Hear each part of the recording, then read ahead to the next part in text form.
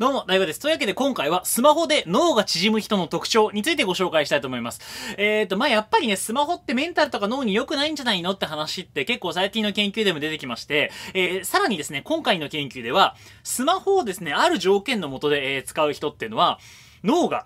実際にちっちゃくなっちゃう。萎縮しちゃうんじゃないのっていう恐ろしい研究が出てました。えー、これをご紹介したいと思います。えー、こちらの研究はですね、アメリカの国立衛生研究所のリサーチでして、9歳から10歳の子供を対象にした、えー、観察研究ですね。で、この研究で分かったのは何かっていうと、もうね、これもうバシッと言いますね。1日7時間1日7時間以上スマホとか PC の画面、スクリーンを見てる子供って大脳皮質って呼ばれるものの一番重要なエリアなんですけど、ここが小さくなってしまう、縮んでしまうよっていうそういった研究結果が出てるんですね。はい。まあ、こういうですね、調査って、まあ似たような調査って結構行われてるんですけど、今回のこのアメリカ国立衛生研究所のですね、リサーチのすごいところが ABCD 研究っていう、まあ、そういうするにその若者の脳の発達に影響を与えるものを本当に片っ端から全部調べまくったみたいな、え結構ですね、こう大規模なデーターを元にしてるんですよ。例えば、え栄養状態とか睡眠とか運動量がどういう風に脳に影響を与えるかとか、若い頃にアルコール飲んだ人たちって、え脳がどう変わるのとか、スポーツで怪我とかをすると脳の発達に違いが出るのかみたいな、そういった細かいことをいろいろ調べてる研究なんです。で、この中で、スマホと脳の発達に関する研究も行われていて、過去最大クラスのデータなんですね。で、ここからやっぱり分かったのは、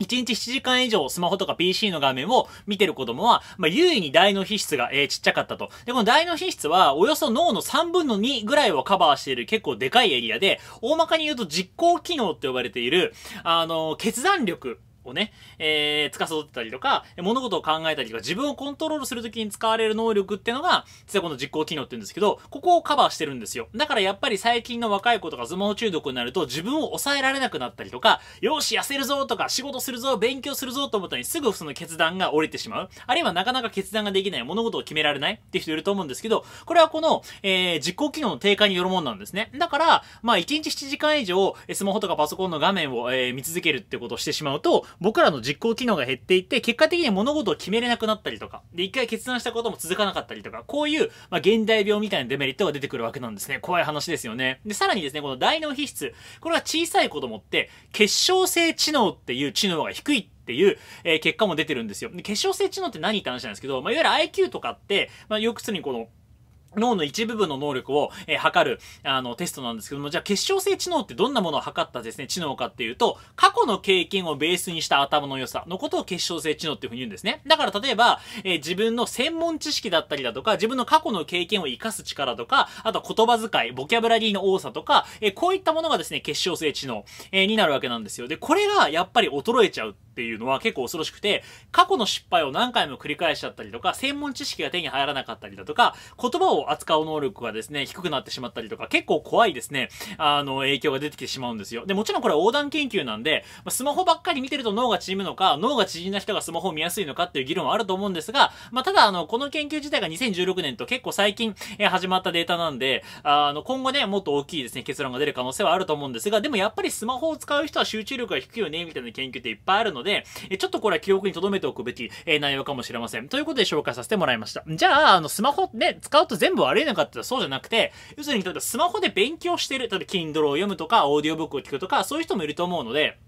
使い方にはね、かなりよると思うんですが、でもやっぱりスマホって、まあ、ソシャゲとかね、えー、YouTube とかもそうですけど、SNS なんか特にそうですけど、こうぼんやりね、人間の脳を疲れさせる、えー、まあ、強力なね、力を持ってますんで、まあ、そういう意味で言うとスマホをね、まあ、使う時間は最低限にして、スクリーン見る時間最低限にして、その分運動したりとか読書したりとか、そういうことした方が、まあ、頭が良くなるよねっていうことがやっぱり示されたっていう研究としては、ぜひ参考にしてみてください。まあ、とはいえでもやっぱり、あのー、いわゆるこう、